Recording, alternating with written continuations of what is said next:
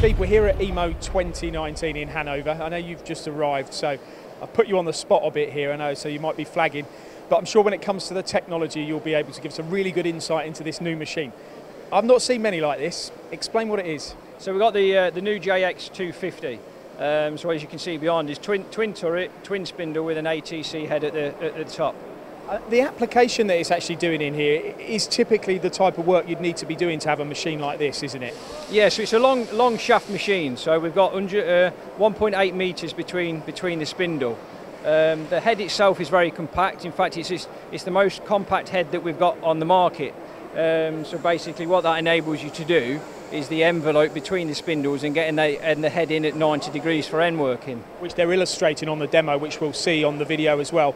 Um, has it got Y-axis on these bottom, both these bottom turrets? So it's a triple Y-axis machine. So you've got Y-axis on the upper and then a true Y-axis on either turret on, on, on both uh, lower turrets. And what about your milling head then here? Obviously you've got a tool changers somewhere around with, yeah, how many tools and how does it all work, the B-axis, the angles? So you've got an ATC head, is what we class it as, automatic tool change.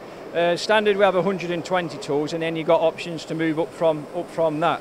Um, so it's a full, full five axis full five axis head. Is there any machine that you can think of in any of the machines that you sell at ETG that's as versatile as this? I'm looking at, I'm trying to think of what it can't do. There isn't a lot, is there? No, so if you go back to what we've talked about before, the NTR X300, which is a twin spindle ATC machine, this, this moves on from there. So now you're talking at a machine for, for cost per part.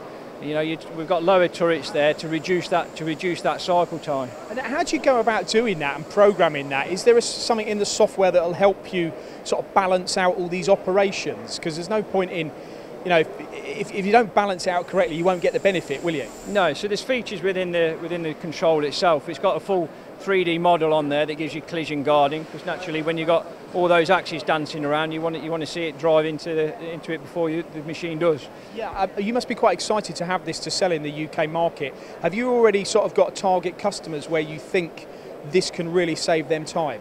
Yeah, so uh, predominantly customers that we're targeting is the ATC users. Um, especially with people now, with, uh, and our business is mainly project driven, it's a natural progression for us to take our customers on to the next level. When, when Nakamura build machines in Japan, they, they don't they leave no stone unturned, do they? Same sort of quality gone into the build of this as you would expect with a NAK.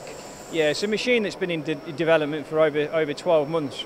Um, the key importance is that they use all the distributors for feedback to develop a machine. Uh, and where the di distributors get feedback from is our customers. So what we're doing here is, is we've created a machine that our customers have asked for.